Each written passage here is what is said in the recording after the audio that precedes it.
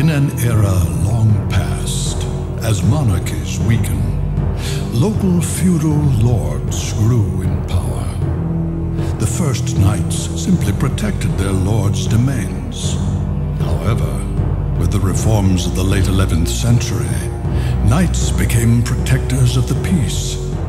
They valued courage and honor, fighting heretics and heathens in God's name.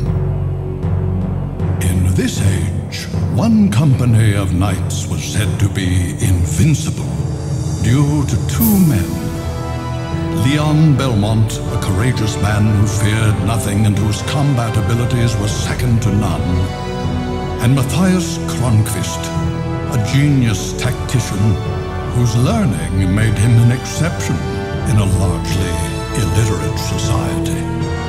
They trusted each other completely, and they were bound by an old friendship. However, sorrow awaited Mathias upon his return from a victorious campaign. It was news of the sudden death of his beloved wife, Elisabetha. Mathias's grief was profound, and he became bedridden. A year has passed since then. Thanks to Leon's efforts, their company remains proudly undefeated.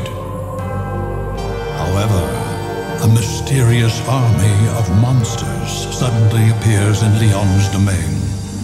The Crusades are raging in the east, and since the Church is focusing on fighting heathens rather than monsters, it has forbidden unauthorized battles. Leon wants permission to sortie, but the Church has no intention of granting it.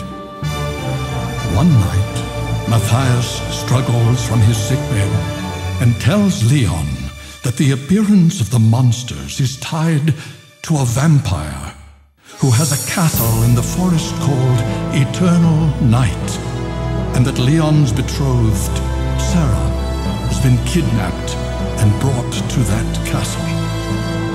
Leon realizes that he must renounce his title to rescue his beloved.